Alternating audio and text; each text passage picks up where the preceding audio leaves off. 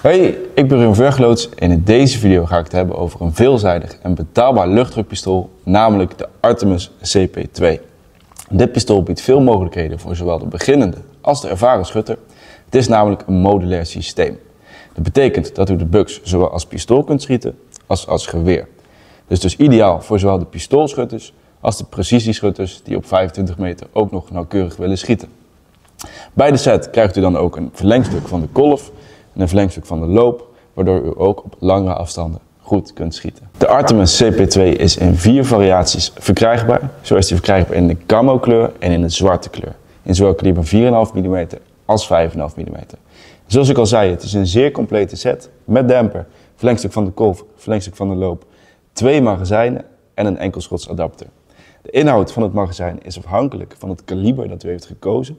Zo heeft u een kaliber 4,5 mm, is 9 schots, een kaliber 5,5 mm, 7 schots.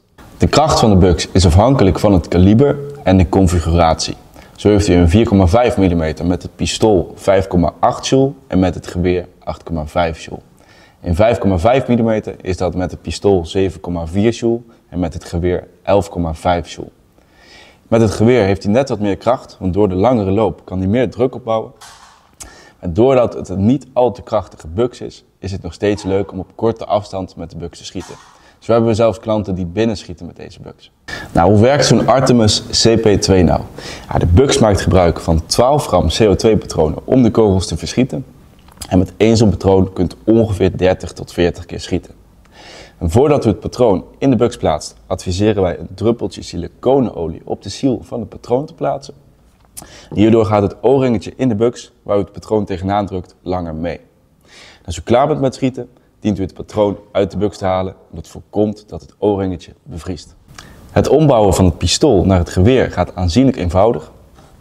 Zo is het heel eenvoudig om het verlengstuk van de kolf te monteren. Deze schroef dient u eruit te draaien. Dan kunt u de adapter eruit halen en het schouderstuk eenvoudig inschuiven. En deze weer vast te draaien met de schroef. En binnen enkele seconden heeft u het verlengstuk van de schouder al gemonteerd. En om de lange loop te monteren, dient u eerst de korte loop te demonteren. Dit doet u door het losdraaien van deze drie imbusboutjes en dan trekt u de korte loop er zo uit. Bij de buks wordt een rood o-ringetje geleverd. Die dient u in de opening van de loop te plaatsen, waardoor die goed luchtdicht is bij de aansluiting in de buks. U draait hem vast met dezelfde drie imbusboutjes en de klem die klemt u vast op de buis waar u het CO2-patroon in plaatst. De meegeleverde demper doet zijn werk ook echt goed. Ik zal hem een keer laten horen met en zonder demper. Dit is met demper. Dan zou ik hem eraf halen en dan zul je zien dat het een stuk harder zou klinken. Ik weet niet in hoeverre het goed overkomt op de video. Maar hier is het verschil wel echt enorm te horen. Is dan zonder demper, een stuk harder. Met demper is, die, is het best wel stille buks. En uh, ook geschikt bijvoorbeeld voor het schieten in de achtertuin. Zonder veel uh, overlast te veroorzaken voor buren.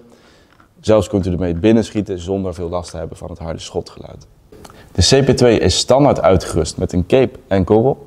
Maar hij is ook voorzien van een 11 mm doofdeelrail waar u eenvoudig een richtkijker Red Dot op laser op kunt monteren om nog nauwkeuriger te kunnen schieten. Als u de buks verlengd heeft, dan is die voorzien van een Picatinny rail waar u eventueel ook een bipod op kunt monteren. Om het magazijn te vullen dient het doorzichtig plastic plaatje tegen de klok in te draaien totdat deze niet verder kan. Vervolgens draait u hem om en doet u de eerste kogel achterstevoren in de opening. Dus betekent met het rokje eerst. Dan blijft het magazijntje op zijn spanning hangen en kunt u aan de voorkant, één voor één, de kogeltjes erin plaatsen. Dan is die gevuld en kunt u hem in de buks plaatsen. De Artemis CP2 is voorzien van een handmatige veiligheidspal, welke in de trekker verwerkt zit. Bij het naar rechts duwen van de paal staat de buks op safe. Duwt hem naar links, is die van de safe af en kunt u een schot lossen. We hebben er genoeg over gepraat, laten we eens testen op de testbaan.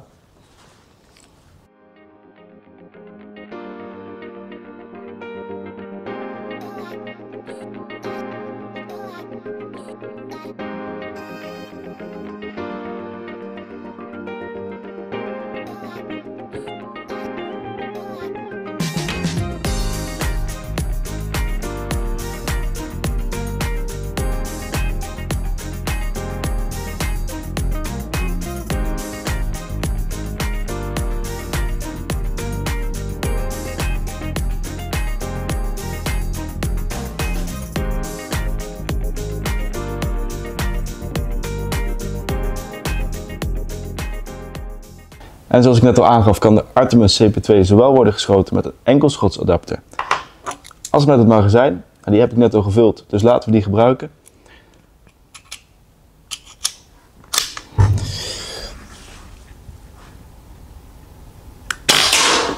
Om te schieten hoeft u enkel laadhendel naar achter en naar voren te trekken. En u brengt het systeem op spanning en u duwt de nieuwe kogel in het magazijn.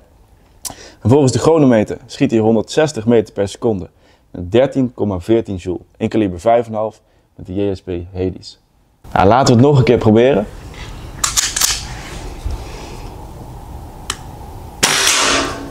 Het tweede schot geeft hij 157 meter per seconde en 12,74 joule.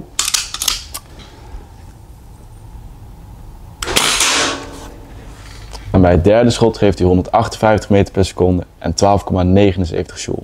Hij schiet dus aardig constant. Nou, al met al is de Artemis CP2 een ideale buks om op korte afstand leuk te kunnen plinken, maar ook op afstanden van 25 meter nog nauwkeurig te kunnen schieten. Het is een veelzijdige buks voor een lage prijs. Nou, bent u geïnteresseerd in de Artemis CP2? Bekijk hem dan via de link in de beschrijving op onze website. Ik bedank u voor het kijken van deze video en ik zie u graag weer de volgende keer.